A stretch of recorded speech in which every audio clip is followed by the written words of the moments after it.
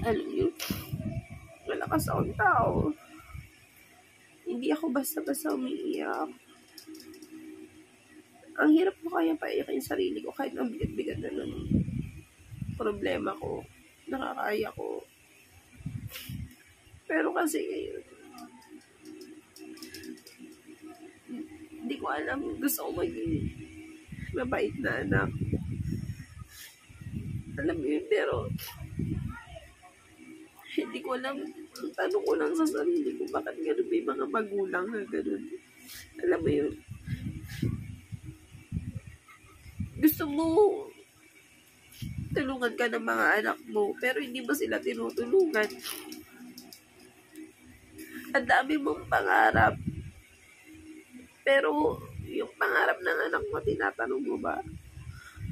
Paano nila matutupad yung pangarap nila kung hindi mo sila sinusuportahan? Huwag ganun. Ako nagsasalita ako kasi magulang na rin ako. Nagagawa ko lahat para sa mga anak ko, hindi lang para sa mga anak ko. Para sa mga tao na sa paligid ko.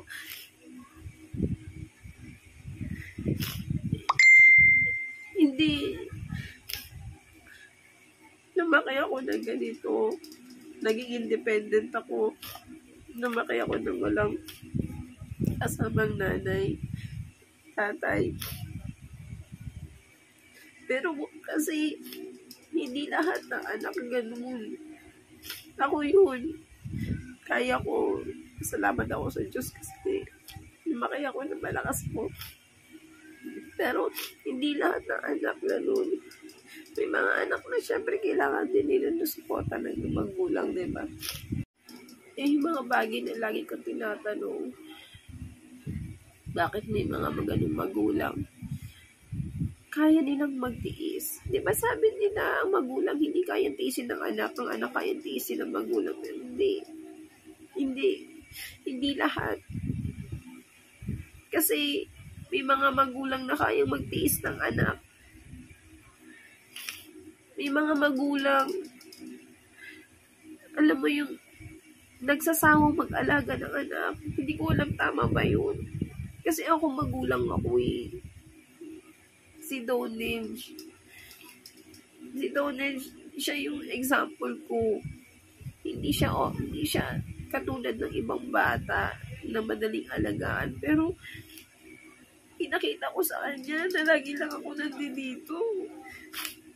Pinakita ko sa kanya, mahal na mahal ko siya kahit anong mangyari. Hindi ko siya iiwan. Pinakita ko sa kanya, pinaparamdam ko sa kanya yung pagmamahal ko, yung security bilang nanay. Pero bakit may mga magulang na ganun? Hindi kayang ipakita yun sa anak. Bakit may mga magulang na sinisisi yung paghihirap nila? Kasalanan ba yun ng mga anak? Di ba? Bilang magulang, sinusuporta mo yung pangarap ng mga anak mo. Aalagaan mo sila para pagdating ng panahon, ikaw ang alagaan nila. Ipakita mo sa kanila yung pagmamahal para ibabalik din nila yun sa'yo kasi ang pagmamahal at respeto hindi naman yung inuutos eh. Binibigay yun ng kusa. Pinaparam, pinaparamdam mo sa kanila yun.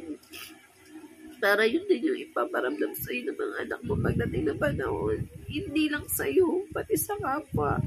Marunong silang respeto, marunong silang magmahal. Hindi naman pwede malalaki na yung mga yun. Hindi ganun. Kahit malalaki na yung mga anak mo, kailangan ka pa rin. Kailangan pa rin tayo, mga magulang. Hanggang, hanggang sa mag-asawa sila, dapat lagi tayo nakasuporta. Alisin na natin yun. Hindi naman, hindi naman natin sila hindi naman, kumbaga, pwede mo naman turuan yung mga anak maging independent eh. Sa tamang, tamang paggabay. Di ba? Hindi ko alam. Hindi lahat ng anak na iniwan masama. Dahil may mga ibang anak na kahit mo sila na magulang nila, minamahal pa rin nila yung magulang nila.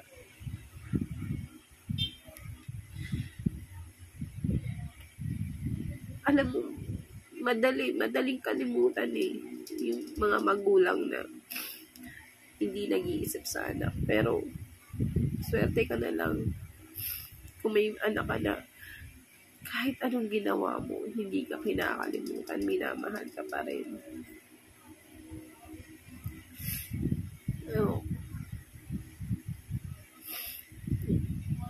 Ay, lagi kong tanong talaga. Lagi kong tinatanong bakit may mga ganong magulang kayang magtiis ng anak. Kasi alam ko, ang magulang hindi kayang magtiis ng anak.